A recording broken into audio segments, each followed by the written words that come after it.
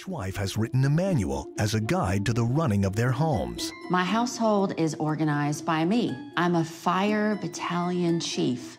Oh my God. We have very traditional roles, and I believe that as a wife, I should support my husband as the head of our household. What?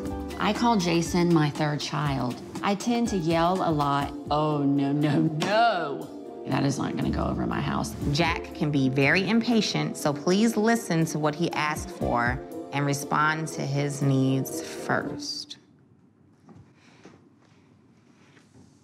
Who's supposed to respond to his needs first? Me? I may cook one to two times per week.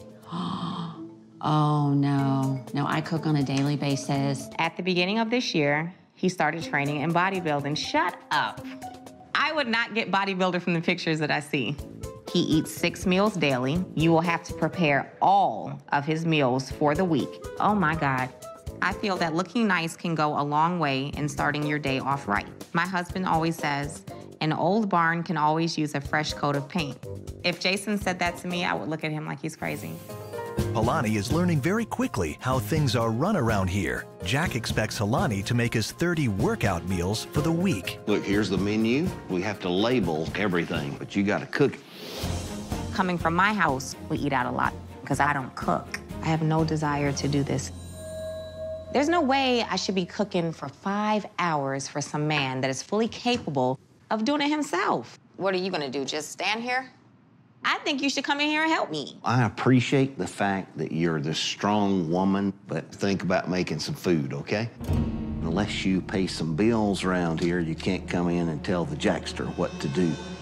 That's garbage. Jack generalizes everything on male or female. He differentiates everything based on what gender you are, and it sucks. It shouldn't take five hours. I heard you say five hours. That includes cleanup time, too, because you know we have to clean up.